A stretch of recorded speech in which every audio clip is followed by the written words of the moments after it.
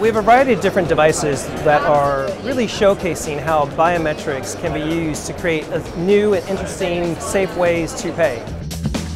So there's a POS terminal that has a fingerprint reader. And so in that scenario, you would insert your chip card into the reader, you insert your fingerprint on the terminal, and it matches the, the fingerprint, that template that's on file for that card. And if it's you, the transaction goes through, and if it's not, the transaction would stop.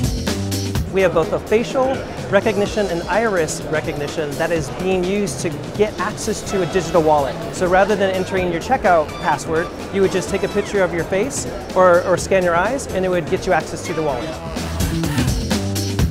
The last device is a little bit more future thinking. It's using vein recognition, vein patterns, and you simply swipe your hands over this reader and it then it will match on file that it'll do a match on file and say, is this the genuine consumer? And if yes, it'll get you access to your funds on file.